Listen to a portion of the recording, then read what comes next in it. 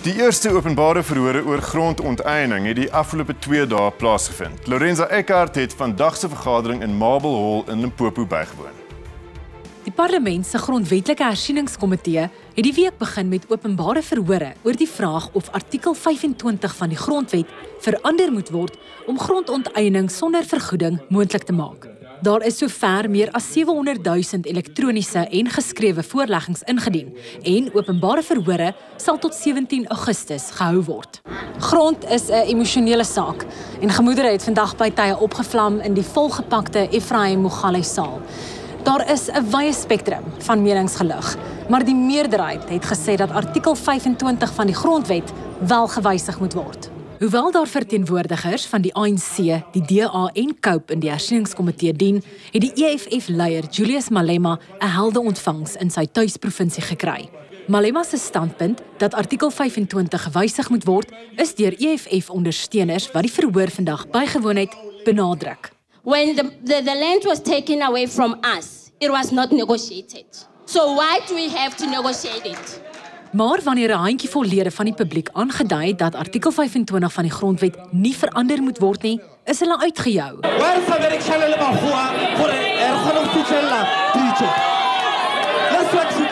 Ge o boela kwa o eh Freedom Charter. E bolela ga botsere le fase e tla ba la batho bawe ba dula go mo go lona. E sa hlaole gore mang ke mang. Mola ka bo re bolela re re tlhaolele go ya ka mmala ga ya swanela ka mo south africa ke mo go tša go le gore ba bangwe ba bangwe ba go swana le moetapele wa wa wa wa wa EFF o sepela Die voorsitter van Agri Limpopo, Willem van Jaarsveld het aangedui dat grondhervorming op 'n verantwoordelike wyse moet geskied. Amongst us, all of us in this wall, we do have the ability and we do have the commitment to make it work for all the people of this country, not only a part, whether it's the majority or the minority. It must be workable for all of us. Die voorsitter van die hersieningskomitee, Vincent Smith, het met tye behoorlik sy hande vol gehad om die gehoor te laat bedaar. Malema het ook ingetree en gepleit dat almal ongeag ras 'n spreekbeurt moet kry. Sommige lede van die gehoor het aangedui dat die regering eerder daarop moet fokus om titelaktes vir mense uit te reik. Een vrou het opgestaan en gesê dat enigeen wat teen die wysiging van artikel 25 is, se voorvaders in hulle grafte omdraai.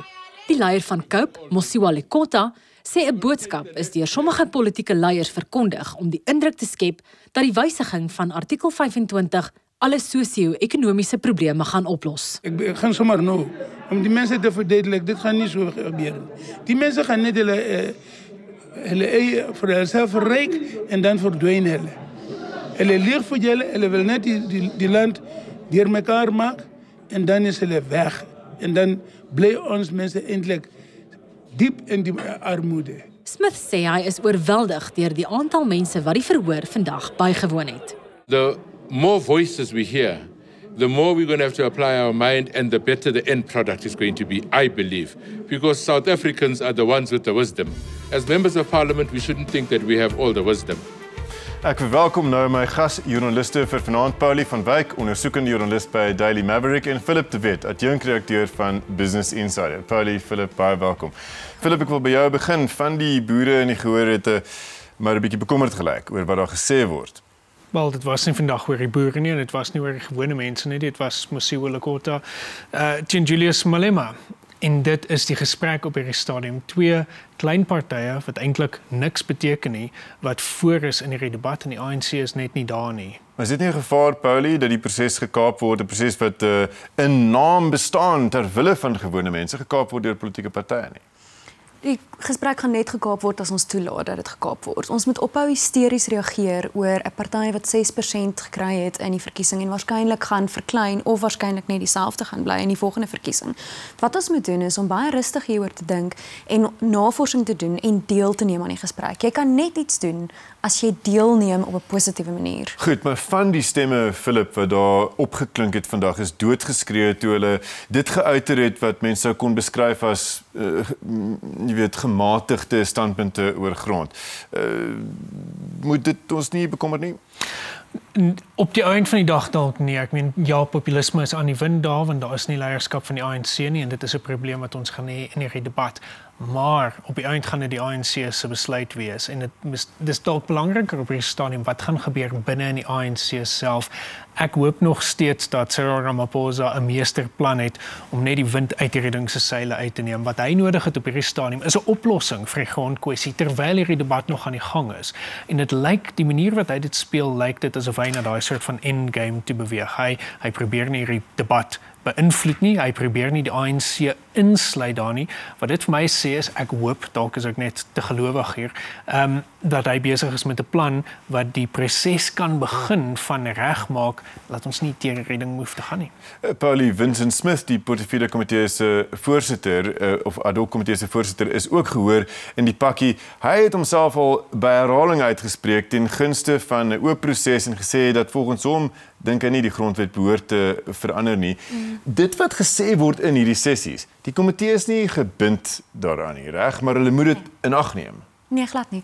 En onthou dat die sessies is is weer eens is klein dele van die bevolking. Dit is nie die oorwegende um, mening daar buite nie. Vincent Smith is ook bekend as 'n baie sober stem en die ANC is besig, ek dink, om agter die skerms leierskap te neem en om te sorg dat dit in die regte rigting gaan. Hulle het reeds begin praat oor die koningshuis as 'n grond en oor hoe grond daar aangewend kan word in die produktiewe landbougrond uitgelos ja. word.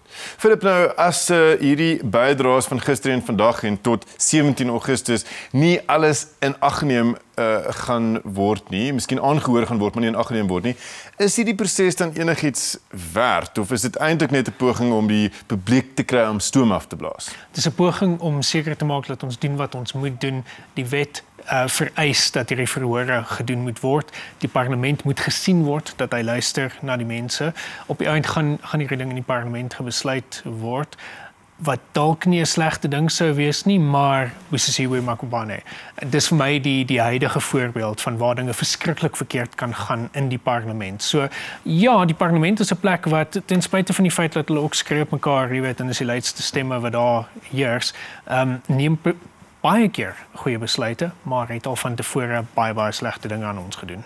Paulie, um, is daar gevaar dat eh uh, Malema en Lekota het mekaar amper vandag gegryp dat van hierdie sessies in die volgende paar maande uh, aantyd kan druk?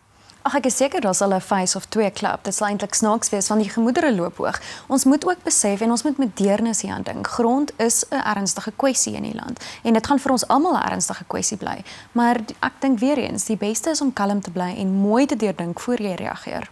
Paulie, laat oor jou baie baie dankie. Bly ingeskakel. Net nou hierdie advertensies gesels ek met twee kenners wat die hoogs omstrede wetsontwerp op die nasionale gesondheidsversekering bestudeer het.